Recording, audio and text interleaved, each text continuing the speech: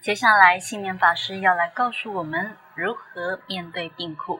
人生有种种病苦，人参悟起智慧的人，人借由生老病苦，更能兴起慈悲心的精神去帮助别人。因此，生病时可借由关照病症和自己的身体对话，放下怨念及激怒，学会与大自然与六道众生共生存。阿弥陀佛，大家好。呃，现在呢，希望跟大家分享的内容是。怎么样去面对病苦？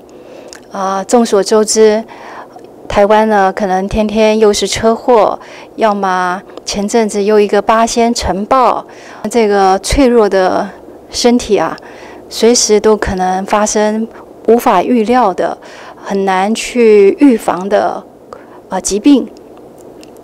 在佛教来讲，呃，本来就是无常的，呃，用心的力量还是可以改变。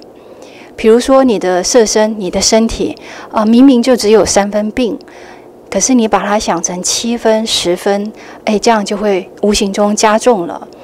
你的身体就算已经病到七成、八成、九成，可是你放轻松，往好处想，很乐观，自然也就消夜，身体会觉得轻松起来。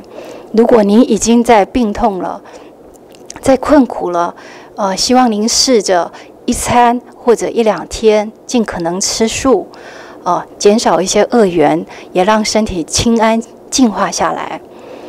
那面对病苦怎么办呢？您还是可以听听或者念念观音菩萨或者是阿弥陀佛，因为有时候靠人的力量啊，不容易转化，真的很辛苦。面对病苦有七项方法，分别是。忏悔过去，身心放松，放下执着，念佛持咒，聚集能量，诵经消灾，止光栓运等。多念诵阿弥陀佛或南无观世音菩萨，或是六字明咒，有非常大的利益以及不可思议的功德。持诵此咒，能消除业障，救人救苦，是离苦得乐的最佳良药。法界新闻，黄文义高雄采访报道。